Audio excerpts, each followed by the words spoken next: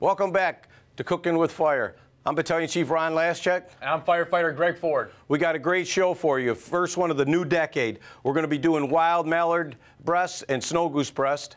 And I'm going to be doing bacon wrapped venison tenderloin. So stay tuned for a great episode of Cooking with Fire.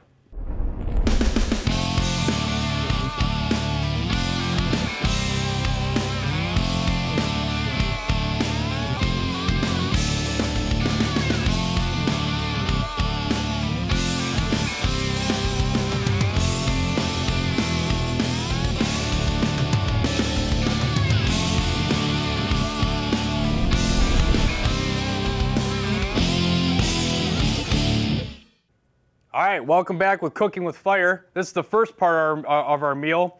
Um, it's gonna be like the longer portion, so we kind of have to get it in, and uh, we'll cook the rest of it for you on uh, TV here. So first, we got bacon wrapped venison tenderloin.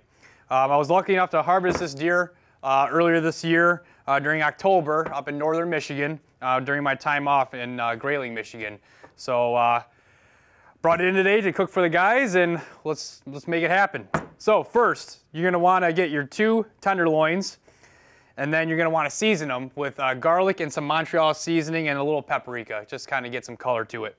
And then, pretty simple, you're gonna preheat your smoker, and we're gonna smoke these two, by the way. You're gonna preheat your smoker to 275, and you're gonna want an internal temp of 130. So it's kinda like you wanna do it medium rare, almost kinda rare, because it's like basically like filet mignon. So, we're gonna get our gloves on first. And we already uh, pre-seasoned our uh, tenderloin here. And then we're gonna get it wrapped in bacon. And then we're gonna toss it in the smoker. And you're gonna probably smoke it for at least 45 minutes to an hour. So what you're gonna do is you're gonna get thin sliced bacon because a little thick uh, slice will take a little bit longer to cook and you want the bacon to cook all the way through.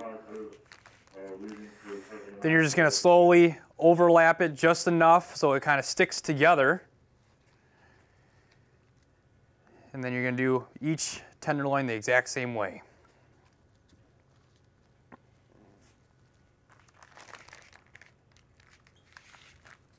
And if for some reason the bacon's not sticking well, um, you want to put some toothpicks on it, which I probably will here, just so it's a little bit neater.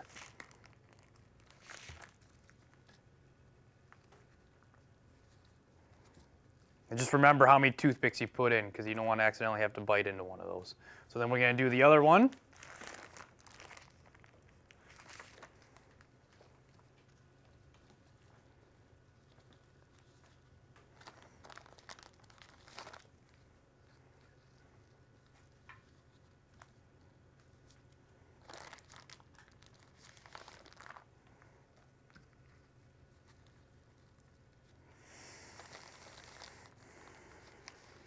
And when, before cooking these, you want to get these uh, tenderloins pretty much to room temperature.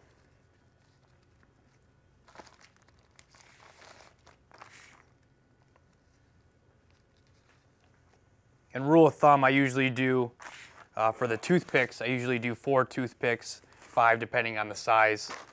So we'll get a couple toothpicks here. One, two, three, and four.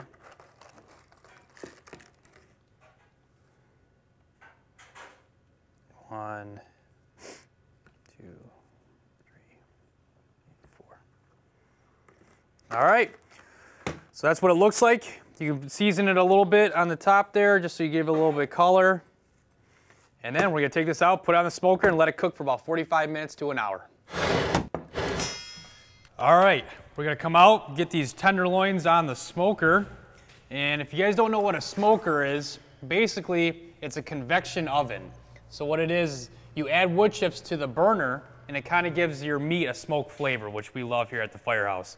So we've had our um, smoker preheating 275, 277 for a few, a few minutes. So now it's nice and warm. Got the smoke coming out there then we have our water tray on the bottom there just to keep everything moist. So you're going to grab your tenderloin. You're going to place it right on the rack.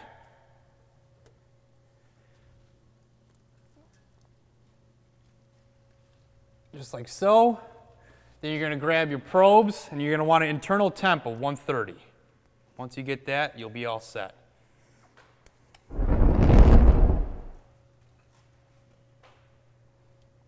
Sure you get it kind of in the hardy part of the, part of the uh, tenderloin there.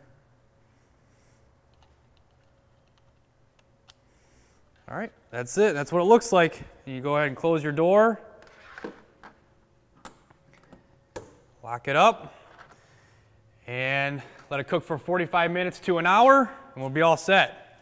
And now we're gonna do part two of our cooking. Uh, we're gonna do some bacon wrap duck breasts with Ron Laszczak. Thanks, Greg. Now we're going to be back with our second meal. What we're going to be doing is uh, I'm doing some wild ducks. Most of them are harvested here in Michigan, but I also have some snow goose breasts. We were fortunate to go out to uh, North Dakota, a small town called Cando, North Dakota. It's uh, northwest of Devil's Lake.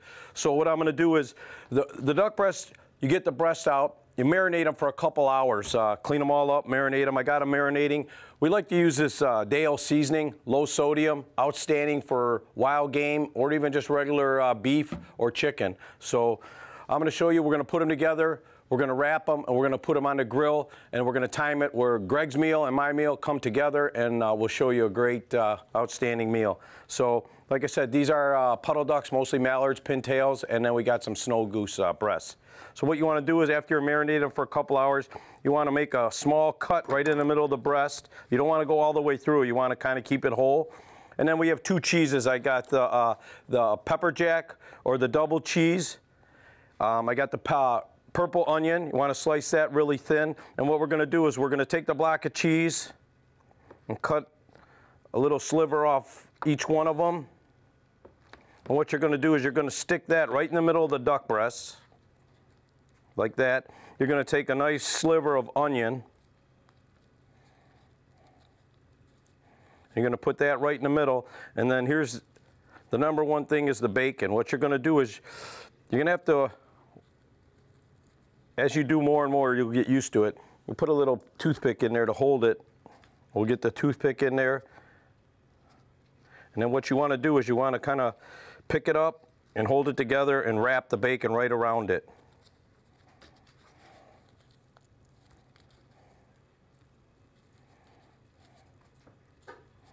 just like that.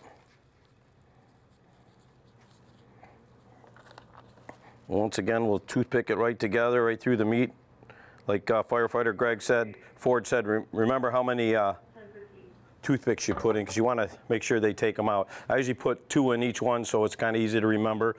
Um, once you got them all, all done, like I said, the seasoning and the marinade pretty much takes uh, the seasoning. I put a little garlic, a little bit of the Montreal steak seasoning in there. And then what we're going to do is we're going to take these out, one a guy, two a guy, depending on your uh, appetite.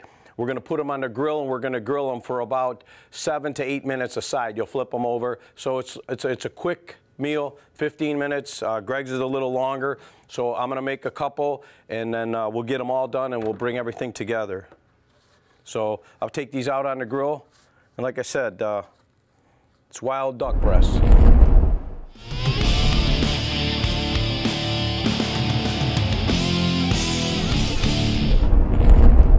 We're going to put these on the grill. They're all made up. And the thing is with any wild game, venison, duck breast, any wild game, you want to eat on the rare side.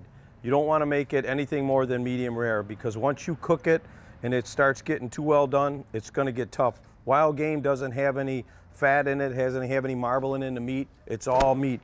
So we're going to put these on. Like I said, it doesn't take long for these, probably um, maybe seven to eight minutes aside. We'll flip them.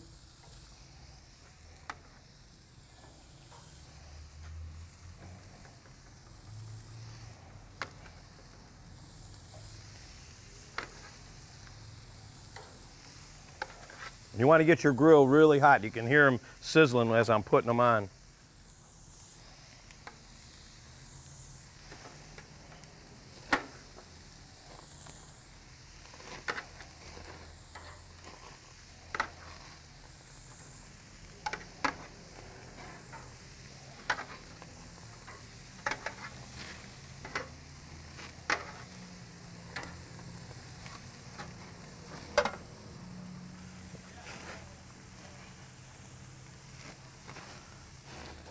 So we got them on there. Like I said, we're gonna let them cook about eight to nine minutes aside, and then we'll flip them and then uh, cook them again for about seven, eight minutes, and we'll be done.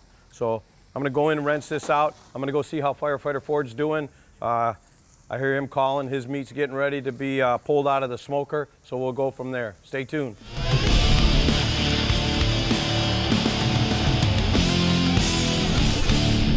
Hi, my name's Paul Smith, host of People, Parks, and Programs right here on TV Warren. Tune in every month for our show, People, Parks, and Programs. I'll take you through all the upcoming activities that are taking place in the City of Warren every month. We'll give you all the latest updates from the Parks and Recreation Department, including how to sign up for things like exercise classes, sporting events, birthday parties, and much more. Whether it's winter, spring, summer, or fall, Warren Parks and Rec is a special event for all.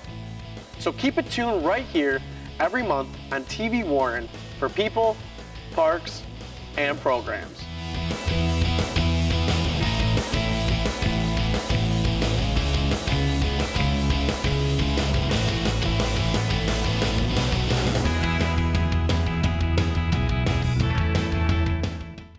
It appears these hot ashes are about to be dumped, which could possibly start a wildfire. How will Smokey deal with such a hot situation? The garden hose defense. Next, a thorough stir. Then another spray. And finally, feeling if the ashes are cool. Oh, yeah. Ah, yes, the selfie. A ritual practiced so frequently with this tribe, but not so much by Smokey Bear. Only you can prevent wildfires. Are you a fan of comics, superheroes, and pop culture? For one weekend a year, over at Macomb Community College is the Great Lakes Comic Convention. Meet celebrity guests, become your favorite hero or villain. Vendors from all over will be on hand with comics, toys, collectibles, and more. Join your hosts, Paul and Ben, in this award winning program on TV Warren, where we give you an exclusive look at the Great Lakes Comic Convention each and every year.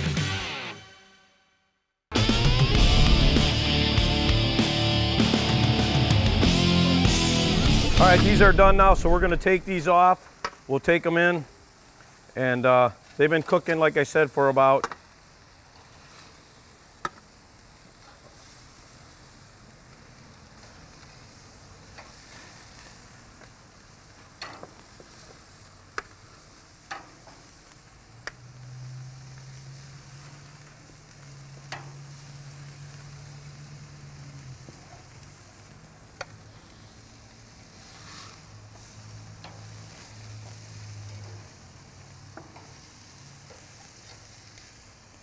All right, so we got them all done and they're all ready to go. So I'm going to toss it back to Greg. He's pulling his uh, tenderloins off the smoker. All right, so my thermometer went off. Our tenderloins both read 130. We're gonna pull these out. They've been in the smoker for about 45 minutes and they're looking good. So we're gonna grab each one, put it on the, our cutting board here. Just careful, the bacon might be a little loose.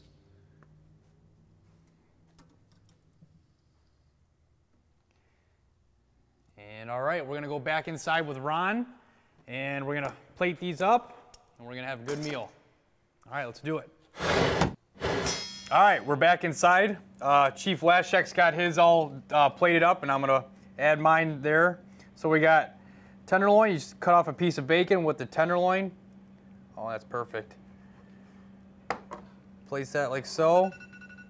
All right, and like, once again, like I said, you want to have all wild game meat. You want to have it very rare. You don't want to eat anything well done, medium rare at the most, because otherwise it's going to get tough. None of your meat, uh, wild game is uh, marbleized, so there's no fat in it. So these are the wild duck breasts and uh, snow goose breasts, venison tenderloin. Um, just want to show that uh, the Warren Fire Department's having a wild game dinner March 28th. We hope anyone uh, that can uh, make it. We're selling tickets. We got sponsors for tables. There's going to be prizes, tons of wild game. So come on out, try it. Um, And uh, I just wanted to say, I wanted to thank uh, the Meijer at 12 and Mound for sponsoring this show, for making this happen. We've had nothing but fun, and everybody's we've gotten positive feedback from it. So we're going to continue to keep doing the show, and uh, we'll see you next time. So stay tuned for another show with Cooking and Fire in the future. Welcome the new decade.